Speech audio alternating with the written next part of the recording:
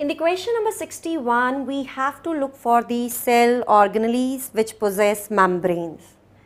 So, if we look into the option number 1, lysosome, Golgi apparatus, mitochondria, they all have membrane.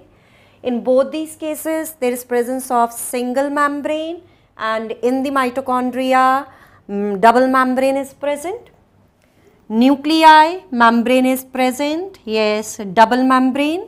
Mitochondria, membrane is present, ribosome absent.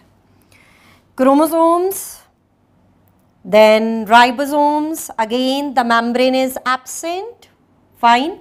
Endoplasmic reticulum, membrane is present. Then endoplasmic reticulum, uh, membrane present, ribosomes absent, nuclei, again there is presence of double membrane. So, if we look into the all these options, there is presence of also organelles where the membrane is absent. So, for this question, the right option is option number 1. So, answer is 1 here. So, let us move on to the question number 62. Now, in this question number 62, we have to look for the organism in which the cell wall is absent. You know nostoc, that's a BGA blue-green algae. It's a bacteria known as cyanobacteria. Cell wall is present. It's a gram-negative bacteria. The cell wall is made up of four layers. Out of the four layers, there is presence of peptidoglycan and lipopolysaccharides in some of the layers. Now, aspergillus, you know, this is a fungi in fungi, the cell wall is chitinous in nature.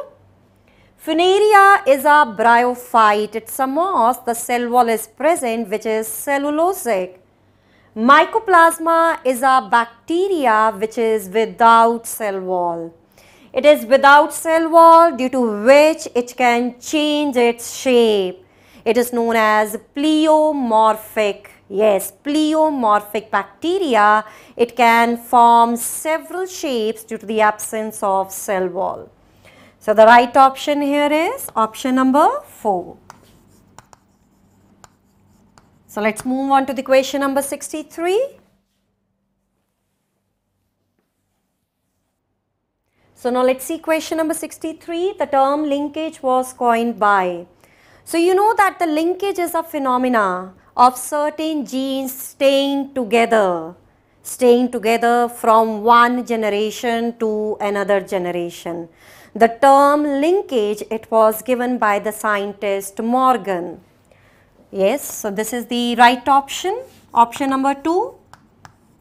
So if we look into the rest of the options, Sutton and Boveri, they gave chromosomal theory of inheritance. Yes, they proposed chromosomal theory of inheritance.